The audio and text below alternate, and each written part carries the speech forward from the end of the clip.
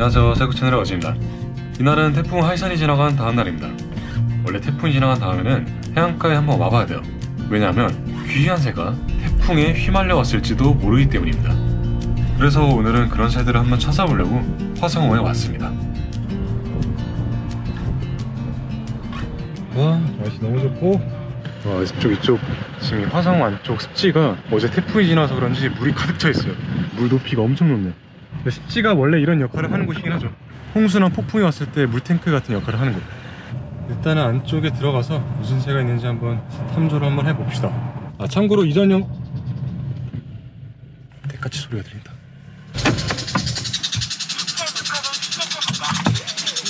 소리는 들리는데 어딘지 안 보여 어딨지?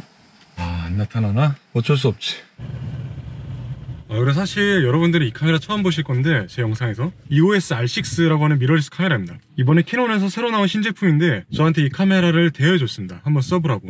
그래서 오늘 이 카메라를 가지고 일단 탐조를 해볼 거고 어떤지 이따가 다 써보고 얘기를 해볼게요.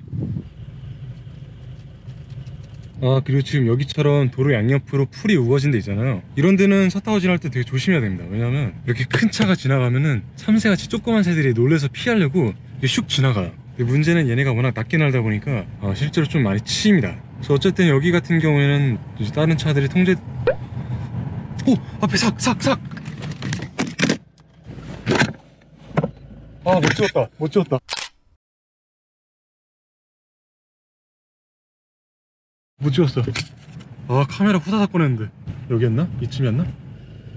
아 이거는 진짜 가능성 없는데 지금 이렇게 지났거든요 도로 위로 이러면 못 찾지. 풀이 너무 우거지네요 여기 도로 위에. 뭐 잘 살고 있겠지. 와 이런 대낮에 야행성인 삭을 보네요. 와 이번에 앞에 고라니.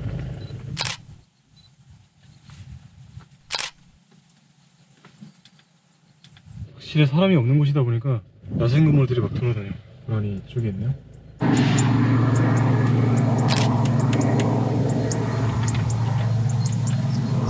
약간 작은 걸 보니까 올해 태어난 새끼 고라니인 것 같아 충남센터에서 보던 친구랑 비슷하네요 여기서 어디로 가볼까? 이쪽으로 가볼까? 어? 꽁! 꽁! 꽁! 앞에 도로에 꽁! 암컷 까투리네요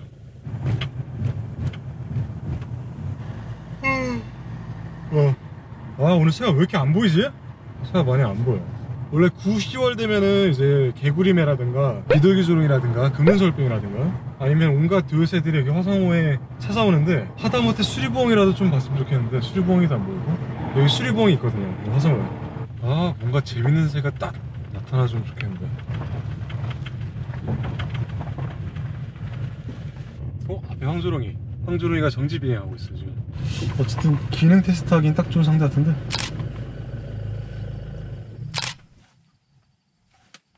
멀리 멀리 날아왔다. 음.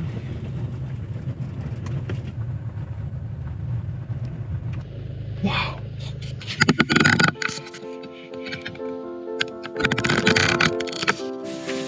수리봉이 수리봉이. 와 수리봉이 진짜 오랜만에 봐. 얘가 지금 저를 쳐다보고 있어요.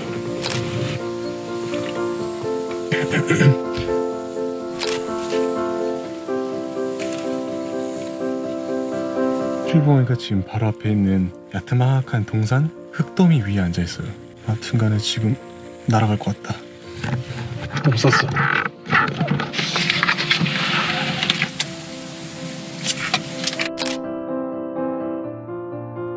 아 조그맣게 얘기했어야 한 건데 목소리 조금 키웠다고 날라간 것 같아요 아쉽다 술봉이를 다시 찾으러 가볼까?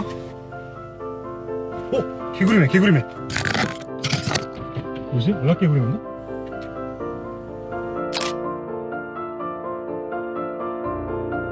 오 알락 개구리매 알락 개구리매인 것 같아요. 거리가 좀 멀긴 하지만. 아 알락 개구리매가 지금 앞에 지나가고 있는데 어? 술봉이 여기 있다. 아 어쨌든 일단 알락 개구리매부터 먼저.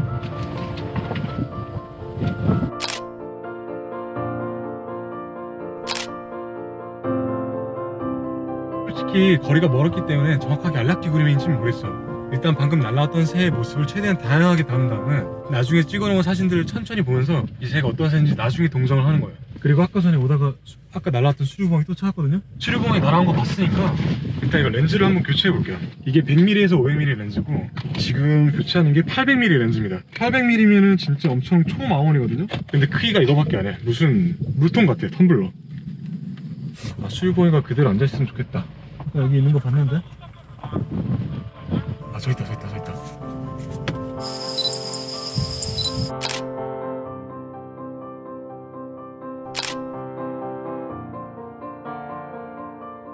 지금 제가 놀란 게 뭐냐면 지금 수리부엉이가 수풀 속에 숨어있거든요 그래서 저게 수리부엉인지 풀인지 분간하기도 힘든데 지금 이 카메라가 수리부엉이 눈에다가 정확하게 초점을 맞춰 이거를 내가 보여줄 수 있을까? 이렇게 찍힐까 이게?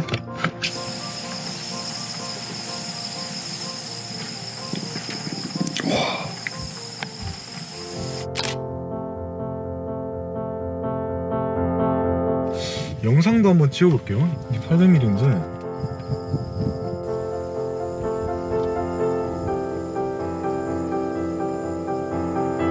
수리봉이가 아까는 탁 트인 곳에 나왔었는데 아무래도 탁 트인 곳에 앉아있다 보니까 얘도 좀 불안감을 느꼈나봐요. 그래서 지금은 풀이 우거진 곳에 앉아서 숨어 있습니다. 자기가 안전한 공간이 있다고 생각하는 건지 여기서 오랫동안 지켜보는데도 편안히 잘 쉬고 있네요.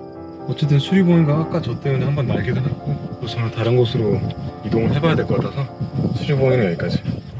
멋있네. 아까 지나갔었던 안락 개구리매가 한 번만 더 보였으면 좋겠네요.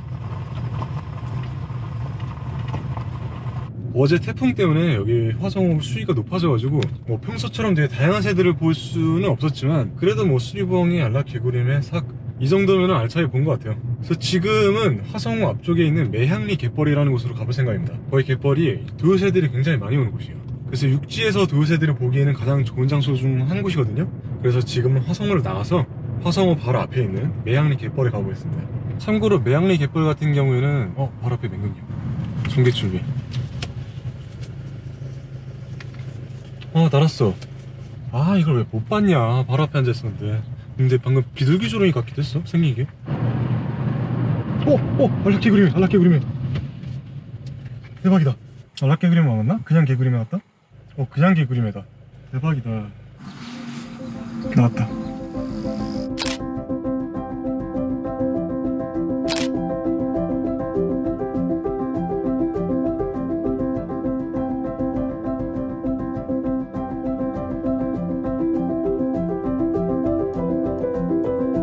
어, 개구리매가 나니까 근처에 있던 외가리들이 놀랐어. 외가리도 덩치가 있는 새이기 때문에 왜- 어지간하면 안 놀라거든요? 놀라서 날라가네. 지금 개구리매가 탁 트인 곳에 앉았는데 개구리매 같은 새가 저렇게 탁 트인 곳에 앉아 있는 거는 굉장히 보기 드문 일입니다.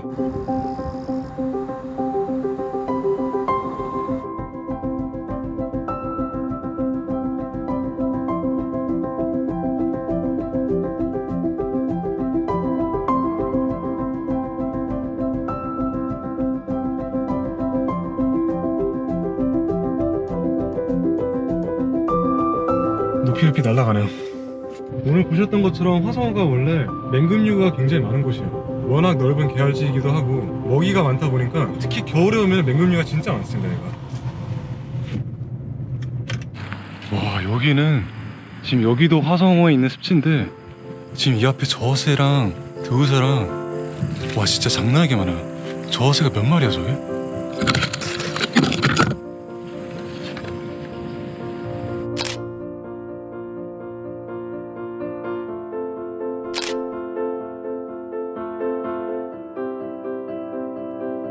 정말 아름답네요. 지금 한 200마리 되지 않을까 싶네요, 일단. 나 세보진 않았지만. 대박이다. 아무튼, 빠르게 이동. 여기 계속 있으면 날 것 같아. 여기가 화성호 바로 앞에 있는 매양리 갯벌입니다. 아, 나들고, 안락보이나도 왕눈물 떼서. 두 새들이 굉장히 아름다운 모습으로 휴식을 취하고 있네요. 차강 끝에.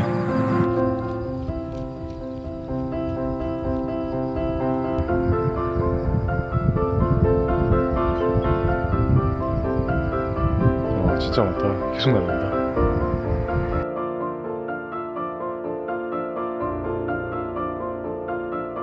아 오늘 진짜 알차다 어, 끝 일단 오늘 탐조는 끝이고 장비에 대해서 한번 얘기해볼까? 이번에 이 장비를 받아서 썼으니까 뭐 어땠는지는 소감 정도는 말을 해야겠죠? 일단 AF 기능 오토포커스 진짜 농담 아니고 깜짝 놀랐어요 진짜 이거는 과장이 아니라 어떨 때 놀랬냐면 지난번에 새만금에 갔을 때 제비 사진을 찍거든요 이걸로. 제비가 비행술이 정말 뛰어난 새예요. 비행을 워낙 빠르게 하다 보니까 정말 웬만한 오토포커스 기능이 아니면은 이거를 자동 초점을 잡기가 힘들 텐데 이거는 그걸 하더라고요. 그 새를 추적하면서 초점을 잡는다는 게 진짜 깜짝 놀랐어요 농담 아니고. 진짜 AF 기능만큼은 제가 인정합니다. 미쳤다고 생각해요 그리고 이 오토포커스 기능 중에 하나 더 놀랐던 게 이 카메라가 새 눈동자를 정말 잘 찾아요. 아까 수리봉을 찍었을 때 놀란 건데 수리봉이가 역광이었단 말이에요. 수리봉이가 분명 어두컴컴하게 보이는데 그 어두컴컴하게 보이는 수리봉의 눈동자를 얘가 찾는 거 보고 진짜 깜짝 놀랐습니다.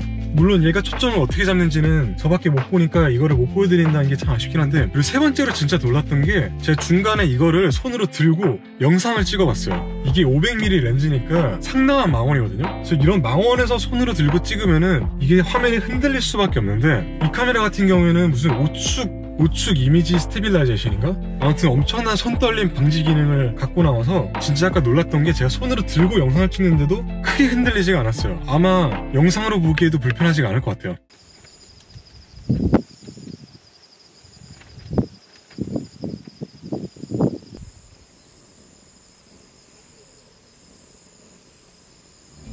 삼각대 없이도 기록용으로 영상을 찍는다고 하면은 이 카메라로 그냥 손 들고 이렇게 찍으면 될 것 같아요. 그리고 마지막으로 렌즈를 비교하자면 일단 이 100, 500mm 렌즈 같은 경우에는 아쉬운 게 없었어요. AF도 잘 따라가고 진짜 다 좋았습니다. 게다가 가벼워서 기동성도 좋고요. 500mm인 렌즈가 이 정도 크기면은 진짜 가벼운 거죠. 엄청 가볍게 나온 거죠 그리고 이 800mm 렌즈. 이것도 진짜 엄청 가벼워요. 근데 이게 더 가벼워. 농담 아니라. 그래서 800mm라는 초망원인데도 불구하고 이렇게 작고 가볍게 나온 거는 정말 칭찬해주고 싶어요. 대단하다. 어, 그렇게 말해주고 싶은데 F값이 11에 고정돼 있어서 좀 어둡다는 점. 그래서 날이 흐리면은 셔터 속도를 확보하지 못할 것 같아요. 새는 굉장히 빠르게 움직이기 때문에 셔터 속도를 확보하는 게 중요한데 그 점이 조금 단점으로 작용할 것 같습니다. 다른 단점은 아까 알락개구리매 찍을 때 느낀 건데 오토포커스 기능이 아무래도 이 100, 500mm 렌즈보다는 조금 조금 떨어지는 것 같았어요. 분명 초점 영역 안에 두고 찍었는데 중간에 얘가 새를 몇 번 놓치더라고요 초점을 그렇다 하더라도 이 정도 크기에 이 정도 무게에 800mm 초망원 렌즈